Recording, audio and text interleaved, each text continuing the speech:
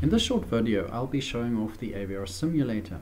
I'll be using three different options to set and clear different register bits just to demonstrate uh, the difference between a hardware read modify write, a um, doing it normally in software, and then also using the bit addressable um, virtual port registers in some of the new Tinies.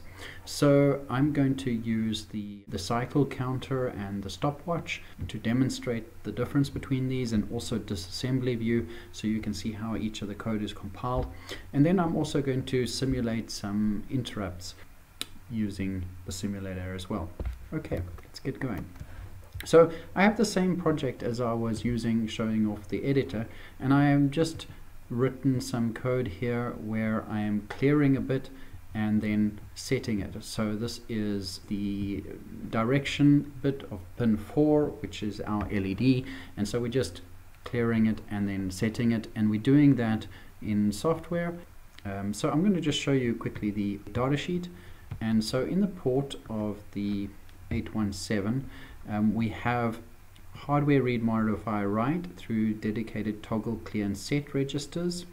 And those are these uh, toggle clear and set registers referred to there um, both in the direction and out. And then what we have is mapping of often used port registers into bit accessible IO memory space. So when we look at virtual ports, the direction out in and interrupt flags are actually exactly the same as direction out in and interrupt flags registers in the port. So we can access them just having vport instead. And so we'll see if there's any difference in how this code is compiled. So um, as a starting point, I'm going to just associate the simulator to the project. And then I'm going to start debugging and break.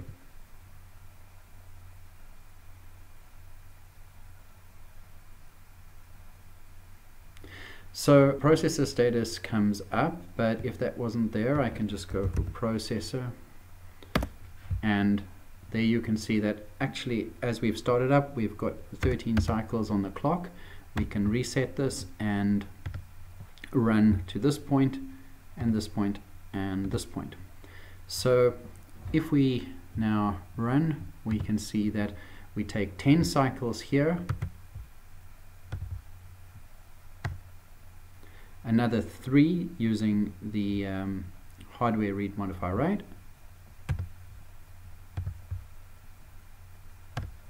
and just two cycles using the virtual port registers. So if we had to look at the disassembly view,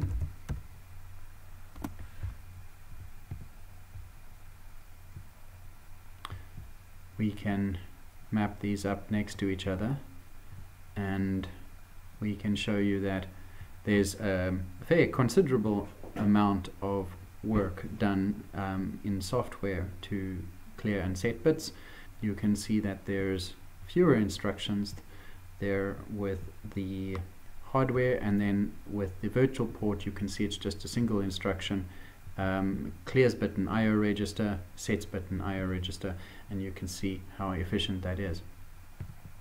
So the next thing that we want to do is we want to see if we can hit an interrupt service routine.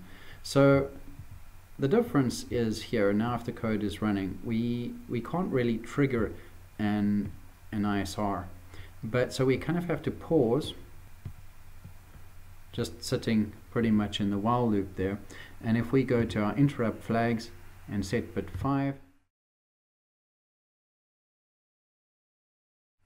and then run, you can see we hit our ISR.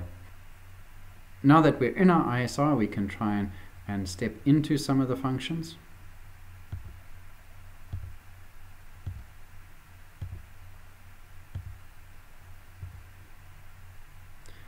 and see the program flow. Thank you.